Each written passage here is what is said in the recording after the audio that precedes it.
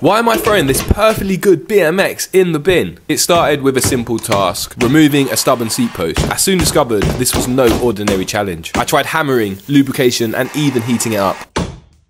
Desperate times call for desperate measures. I crafted this custom contraption, bolted it into place and tried again. But the seat post refused to budge, testing my skills and determination to the limit. It's time to ramp it up. I bolted this massive rail to the post, adding tons of lubrication and more heat. I have to be careful here because I really can't afford to snap the bolt inside. But surely we have enough leverage.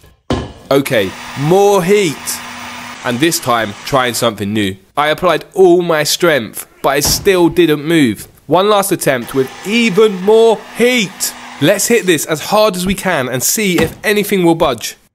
After trying everything, I faced a tough decision. I accepted defeat and made the ultimate sacrifice, and now you know.